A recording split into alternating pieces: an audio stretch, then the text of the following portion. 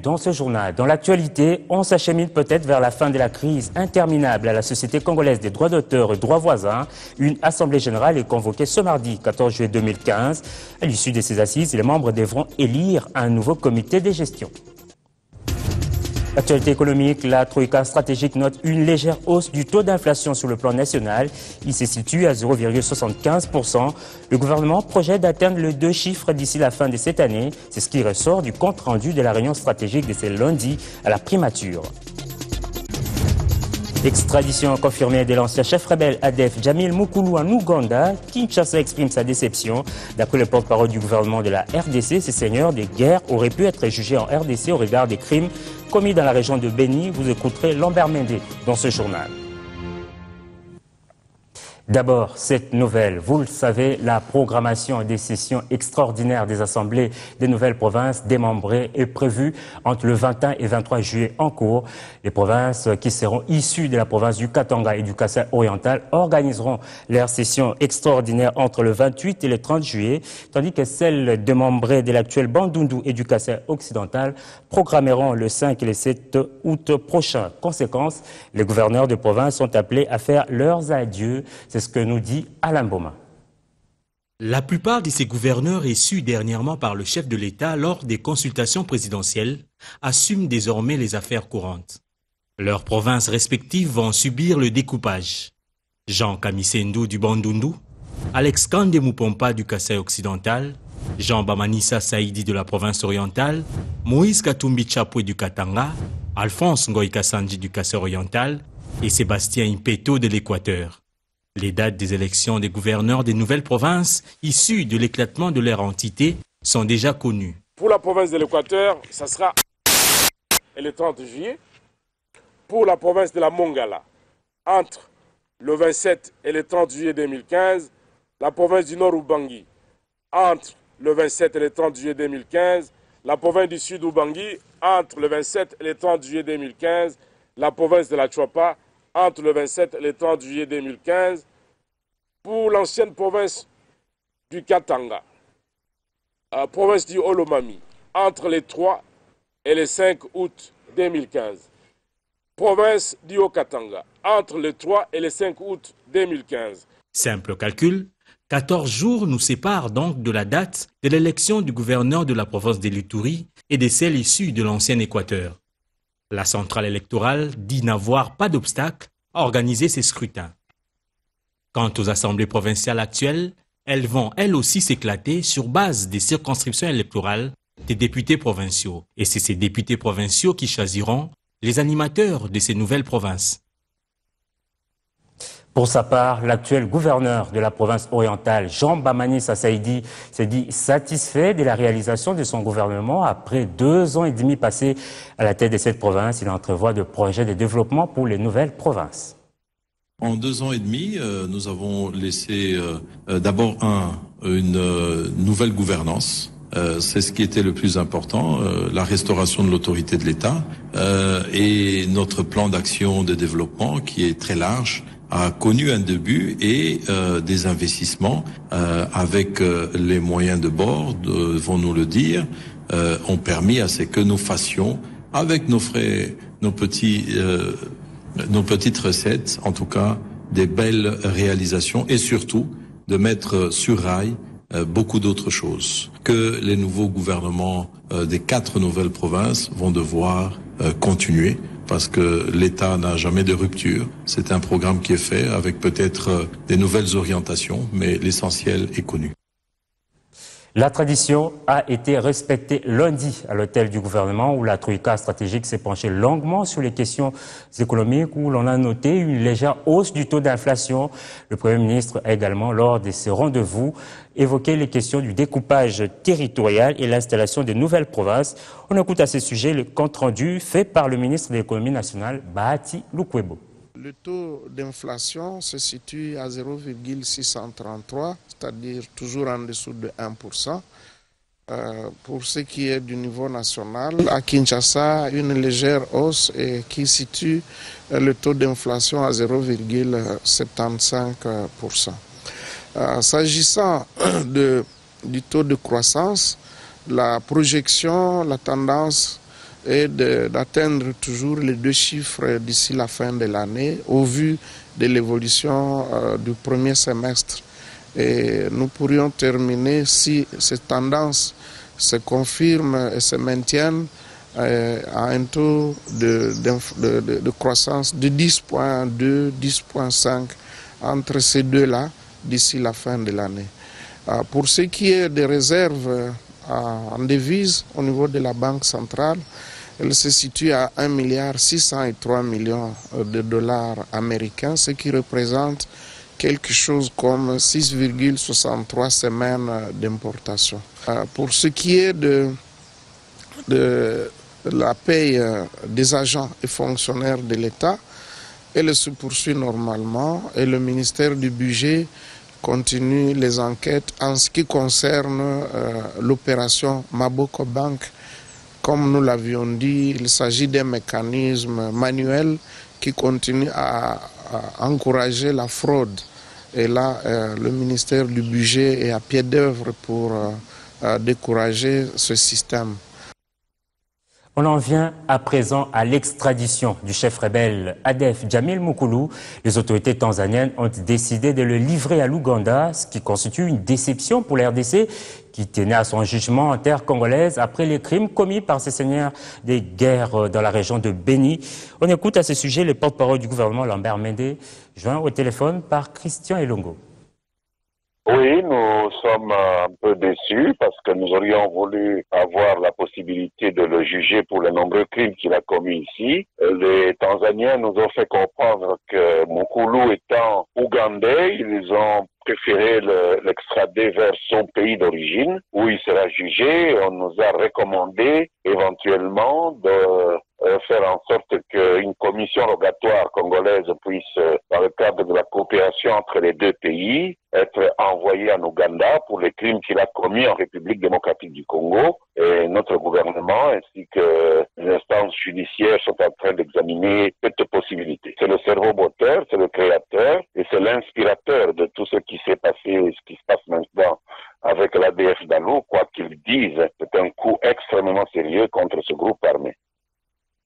L'RDC a pris part au forum régional sur la sécurité et la paix de la région des Grands Lacs tenu à Addis Abeba en Éthiopie. Cette rencontre a passé en revue les avancées enregistrées dans la mise en œuvre de l'accord cadre d'Addis Abeba. Hormis cet aspect sécuritaire, les questions d'investissement en Afrique et le projet à caractère régional ont aussi été évoquées. Ce forum régional de ministres et délégués de la conférence internationale pour la région des Grands Lacs, CIRGEL, de la communauté économique des pays des Grands Lacs, CPGL, de l'Union européenne et de la Banque mondiale, a félicité la RDC pour les progrès réalisés dans la mise en œuvre de l'accord cadre d'Addis Abeba. C'est notamment le respect de ses engagements dans la lutte contre les groupes armés, les FDLR, les seigneurs de guerre Maïmaï et autres forces négatives. L'organisation du séminaire national d'appropriation de l'accord cadre d'Addis Abeba, tenu à Kinshasa, sous les auspices du mécanisme national de suivi en collaboration avec les ministères du Plan. L'envoyé spécial du secrétaire général des Nations Unies pour la région des Grands Lacs, Saïd Djinit, a félicité la RDC pour ses progrès tout en l'invitant d'insérer dans la ligne budgétaire de 2016 les actions prioritaires définies dans les cadres de cet accord. À cette occasion, les participants ont échangé sur les enjeux liés à la coopération et à la paix dans la région des Grands Lacs et examiné quelques approches pour le développement des pays membres. Les délégués à ces forums ont passé en revue la situation économique récente des pays des Grands Lacs qui, pour la plupart, maîtrisent les taux d'inflation et enregistrent la stabilité du cadre macroéconomique avec un taux de croissance appréciable. Ce en dépit du contexte politique que connaissent certains pays, dont le Burundi. Des recommandations ont été ainsi formulées pour la promotion de l'emploi des jeunes. À ce sujet, le ministre des Finances et chef de la délégation de la RDC à ces travaux a rédit la détermination de son pays à organiser l'année prochaine le Forum international sur les investissements privés. Henri Moulang a apprécié l'engagement pris il y a deux ans par des partenaires internationaux, notamment la Banque mondiale, pour financer des projets intégrateurs une manière de consolider la paix dans la région des Grands Lacs. L'actualité, c'est aussi l'Assemblée générale ce mardi à la Société congolaise des droits d'auteur, euh, droit voisin Sokoda. Le ministre de la Culture et des Arts a confirmé lors d'une conférence de presse la tenue de ces assises pour notamment élire un nouveau comité de gestion. Suivez. Contestation, tiraillement caractérisent la Sokoda ex-Soneka depuis sa mutation. Entre ses différents membres, les violons ont du mal à s'accorder. Face à cette situation sempiternelle, le ministre de la Culture et des Arts sort de son silence. On ne peut pas passer d'un coup d'État à un autre coup d'État. Mon objectif était que tout le monde aille aux élections et qu'on choisisse les meilleurs d'entre eux. Après étude entre les services de la haute hiérarchie et mon ministère et les différents acteurs nous avons dit que pour mettre fin à tout ça, il faut quoi? Il faut faire une assemblée générale. Assemblée générale, autre pomme de discorde entre les comités en conflit dans cette affaire. Se tiendra, se tiendra pas, Baudouin Banzamoukalai lève l'équivoque. Demain, il se tiendra une assemblée générale des membres de la Sokoda. Et cette assemblée, après avoir adapté les textes aux, nouvelles réalités de l'OADA, cette assemblée va aboutir à la convocation d'une assemblée élective qui se fera le lendemain. Et à l'issue de cette assemblée élective, nous saurons quel est le comité, euh, le conseil d'administration qui va diriger la SODECA. Pour le comité de médiation mis en place, il faut disposer d'une œuvre pour faire entendre sa voix. Je vous dis que lui ne peut pas se présenter. Il n'a pas d'œuvre. Il va se présenter comment? Il sait lui-même qu'il ne peut pas venir. S'il vient, peut-être viendra comme observateur. Parce que moi, Namboka, ce n'est pas, pas une œuvre qui régénère l'argent. Les résolutions de l'Assemblée générale de la Sokoda qui s'ouvre ce mardi seront donc très attendues. Il y a eu Assemblée générale à Goma, dans le Nord Kivu, à l'issue de laquelle un nouveau comité provincial de l'Association nationale des infirmiers du Congo a été élu. C'est ce que nous dit Patrick Sialoua, notre correspondant dans la région. Ce nouveau comité de neuf membres ainsi élus aura comme lourde charge de redynamiser l'Association des infirmiers du Congo, section Nord Kivu, après 15 ans de léthargie. Une mission certes difficile, mais pas impossible. Sur bâtir une profession infirmière florissante à province du Nord Kivu, qui a des objectifs spécifiques tels que la restauration de l'autorité de l'infirmier dans l'ensemble de la province, la promotion du genre pour l'autonomisation de la femme infirmière, l'accès à l'information en faveur des infirmiers, ainsi que de la justice, l'aspect social par le syndicalisme fort doit être également euh, soutenu. Et nous pensons que la collaboration également avec d'autres acteurs dans les services de la santé pourrait permettre à ce que dans les quatre nous puissions arriver à améliorer tant soit peu le niveau de l'infirmier au niveau de la province. La troisième vice-présidente de la NIC RDC ayant supervisé ces élections en appelle au soutien de tous les infirmiers et toutes les infirmières du Nord Kivu pour la réussite de ces quatre ans du comité Joseph Makundi. Je tiens à vous recommander à ne pas nuire à la crédibilité de la carrière infirmière. Enfin, je suis convaincu que vous allez appeler tout votre soutien à votre nouveau comité que je recommande les activités bureau.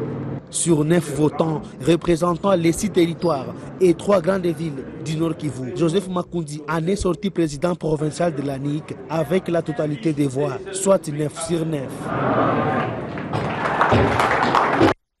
Dans le secteur des télécommunications, la date du 13 juillet 2015 sera désormais inscrite dans les annales de Vodacom Congo, car un pacte a été scellé lundi entre l'intersyndicat de la société et la direction générale. Une convention collective avec plusieurs avantages, notamment une rémunération sur une rémunération, allais-je dire, pour tous les intérêts qu'effectueront les agents. C'est là grâce à la prime d'intérim. Cédric Ebondo et Magloire Mbaki. La performance et les succès d'une entreprise passent aussi par un bon climat à l'interne entre dirigeants et dirigés. Une vision concrétisée notamment grâce à un syndicat efficace et constructif à même de défendre les intérêts des employés. Ce pacte scellé entre l'intersyndicale et les managers de la Société des télécommunications Vodacom Congo est les fruits d'une série de plaidoiries qui a duré près de neuf mois. Quelques camarades peut-être ont porté des coups, ont subi des coups et peut-être leur vie aura été impactée par la lutte qui a caractérisé les péripéties des négociations de cette convention collective. Parce qu'ils vont maintenant apprendre que derrière eux, il y a quelque chose qui s'améliore. Et la société va prendre un nouvel élan.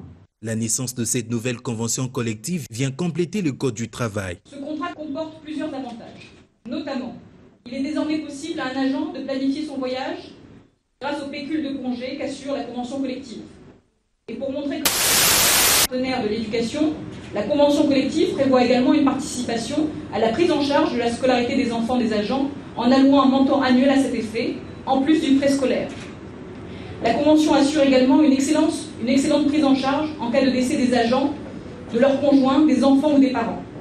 Témoin de cette alliance, la secrétaire générale à l'emploi et à la prévoyance sociale, représentant le vice-premier ministre ministre des tutelles, invite toutes les parties prenantes au respect de clauses de la dite convention. Tout n'a pas été gagné, monsieur le président de la délégation syndicale, mais vous le savez, comme dans toute négociation,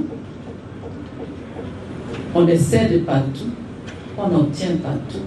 Mais je ne peux que vous inviter à continuer ces dialogues. Un dialogue constructif, un dialogue permanent pour que, au-delà de ces papiers que vous avez signés, il y ait de part et d'autre surtout un, un sentiment d'appartenance. Ce partenariat gagnant-gagnant vient améliorer davantage les conditions socio-professionnelles des agents et cadres de Vodacom Congo en vue d'atteindre un meilleur rendement. Et le sport, avant de nous séparer, le tout-puissant Mazembe a ramené le point du match nul de son dernier match joué dimanche au Maroc face à l'équipe locale du Maghreb, Tétouane. Score final, zéro but partout. Dans l'autre rencontre, Al Hilal du Soudan a dominé Smoa d'Égypte par deux buts à zéro. Le prochain rendez-vous est fixé pour le week-end à partir du 24, 25 et 26 juillet. Et voilà pour l'actualité. Merci de nous avoir suivis. Excellent de programme sur B1.